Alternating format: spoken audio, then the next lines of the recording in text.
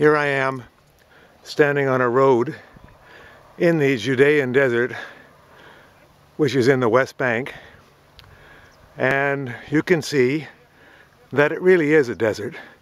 There's a tiny bit of habitation, houses here and there. Down at the bottom of the valley, there are some Bedouins.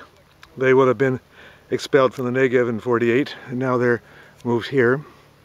But this is the land that by the Clinton parameters is where the Palestinians who are presently refugees would have the right to return, not to the green fertile areas of the uh, what is now Israel, the Galilee, the coast, and so on, but he would like them to come to here to live, and he thinks that's a fair solution.